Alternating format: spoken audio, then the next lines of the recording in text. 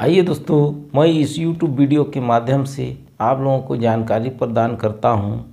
भूमिहीन व्यक्ति किसे कहा जाता है? दोस्तों, छत्तीसगढ़ भू राजस्व संहिता उन्नीस सौ उनसठ के अंतर्गत भूमिहीन व्यक्ति, वह व्यक्ति है। ऐसे व्यक्ति को कहा जा, जाता है कि वह व्यक्ति जो वास्तविक कृषक है जो अकेले या अपने कुटुंब के अन्य सदस्यों के साथ संयुक्त रूप से कोई भूमि धारण नहीं करता है या इतनी भूमि धारण करता है जिसका क्षेत्रफल उस क्षेत्रफल से कम है, जो इस संबंध में विहित किया जाए। दोस्तों, कहने का शाब्दिक अर्थ यह है, भूमिहीन व्यक्ति वह व्यक्ति है जिसके नाम से किसी भी प्रकार का कोई भूमि नहीं है। वह व्यक्ति भूमिहीन व्यक्ति के श्रेणी में आता है और भूमिहीन व्यक्ति कहा जाता है।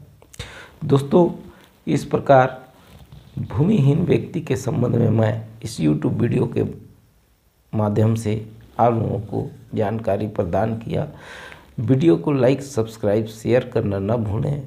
चैनल में बने रहें। नई नई कानून की जानकारियाँ प्राप्त करते रहें। कानून का जानकार व्यक्ति बने, सुंदर भारत निर्माण में अपना विशेष योगदान प्रदान करें। जय हिंद, जय भारत, जय छत्तीसगढ़।